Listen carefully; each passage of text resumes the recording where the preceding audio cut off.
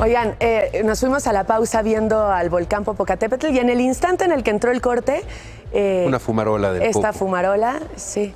Se Fíjate ve... que en esta época del año, eh, por la posición del sol, sale exactamente atrás de los volcanes. Se ve, se ve este, esta radiación y bueno, con la fumarola el contraste, hay que acordarnos que es un volcán que está vivo, ¿eh? Y este que las autoridades llaman el material incandescente, ¿no? Eh, En el momento en el que cambia Ajá. la imagen, se ve cómo sale. Cómo rueda por la rueda ladera. después por la ladera. Por sí. eso es que no hay que acercarse al cráter del volcán. Exactamente, ahí está.